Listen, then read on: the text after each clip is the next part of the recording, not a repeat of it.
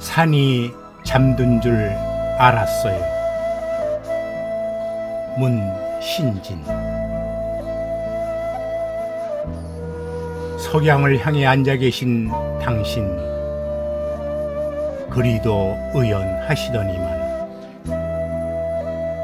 수수때 뉘어놓고 고구마 넝쿨 걷어올린 밭두렁에서 꼬물꼬물 다가온 땅거미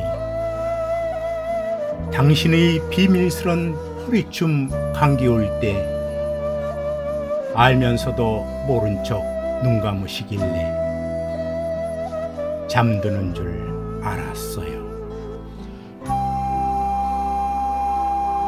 한낮의 햇살에 유난스럽던 단풍잎들 살금살금 내려앉는 걸 알고나 계셨나요?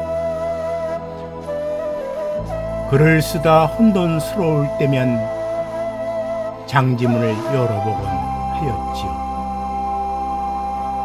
한 덩어리가 되어 엎드려 있는 당신을 보니 꼭 잠든 것만 같았어요. 세 번째 문을 열었던가요. 마침 까투리 비명소리가 밤을 흔들었어요. 놀란 청설모 황망한 발자국 소리도 들렸고요.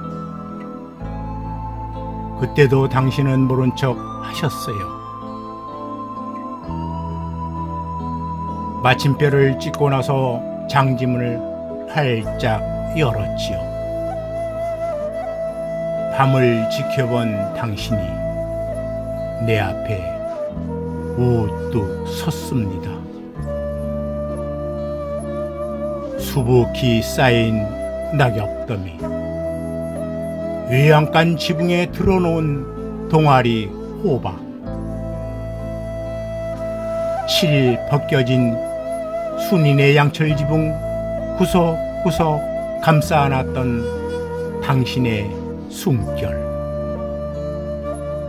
잔잔히 물결 치는데 그것도 모르고 잠든 줄만 알았어요.